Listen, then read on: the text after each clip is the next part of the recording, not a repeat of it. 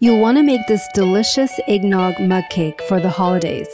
In a mug, combine 3 tablespoons of all purpose flour with 2 tablespoons of sugar and a quarter teaspoon of baking powder.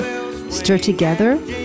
Pour 2 tablespoons of eggnog, I'm using oat nog, 1 tablespoon of vegetable oil, and 1 teaspoon of vanilla extract.